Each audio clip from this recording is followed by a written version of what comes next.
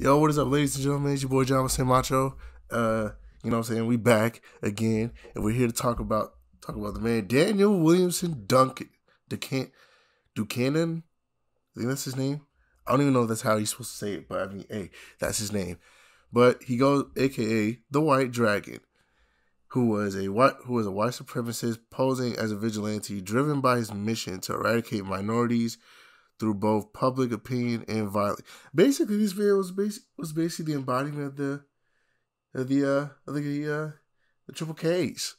The embodiment of the triple K's. I see why he's the white dragon. Oh my god. Excuse me. He manifested his powers after the Metabomb event and spent a great deal great deal of time training and refining them. Funded by ultra ultra right eh, excuse me right wing groups, he hired he hired the Metatech Corporation to create the the White Dragon persona. With his new suit, they also helped from a public relations campaign so that the White Dragon could initially be perceived as a superhero, thus making it easier to get a subtly worded racist message out to out to the public. Ladies and gentlemen, don't be like this guy here, man. Look at the love, love, love, that, love each other, no matter the skin color. That's what I say. But anywho, he operated as a vigilante out of Chicago, out of Chicago, as previously stated. You know, targeting racial minorities. You know, he was out there in the South Side of Chicago, going out, going out. You know, I'm saying Chief Keef and his crew, all that stuff. You know, um, but while operating out in Chicago, he was careful to obey the law but only attacking criminals by only attacking criminals and refraining from killing. However, he eventually clashed with Hawkwoman, who took offense to Duchanan's racist and misogynistic ideo- ideology, and eventually exposed his identity while assisting while assisting lawmakers looking into his actions. However, Duchanan proved to be a crafty manipulator of the media and used his his conflict with Hawkwoman to pay himself as being persecuted for his unpopular political opinions. Basically, he just tried to pull a. He tried to pull that Uno reverse card on her. Good move. Good move, Dan. Good move. When Shayera and Hawkman, Shayera is Hawkman, by the way, went underground to escape to escape extradition.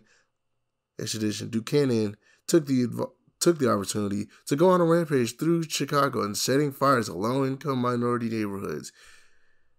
Jesus Christ. So you telling me this man just burned down the whole South Side? Dang, man.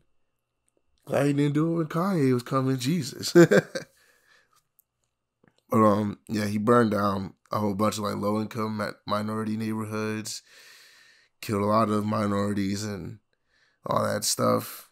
And Katar and Katar and Shayera Shara managed to stop him with the assistance of fellow Hawkman Carter Hall and Hawkgirl. At one point, the White Dragon resurfaced as a member of the Fourth Reich, now astride in now astride an actual White Dragon. He, alongside other Nazi Nazi supervillains, attacked the Justice Society and their headquarters. Now, there also is an iteration of the White Dragon which is in Peacemaker, who is Peacemaker's father, at least in the show. He's Peacemaker's father, but we're just gonna save that for like another time, probably. But let's go over his powers and abilities real quick. So first off, he has pyrokinesis, obviously, because he can wield he can wield and control fire that's produced from his own body, usually via via destructive blast or slashing with short with short range blades of flame that he usually just puts on his hand or will just grab like a sword or a dagger or something like that. Whenever he activates his power, his body ignites, giving him a monstrous fiery appearance with a skull-like the skull-like face, hence the white dragon. Or well, not hence the white dragon part, but you you get it, man. He also has the ability to fly, and he has he has his infamous white dragony armor, which allows Daniel to focus focus in his abilities as well as well as grant him super strength and agility, which hence is why he is the White Dragon. Well, thank you guys. Thank you guys for your time. And I'll see you guys whenever I see you guys. Peace.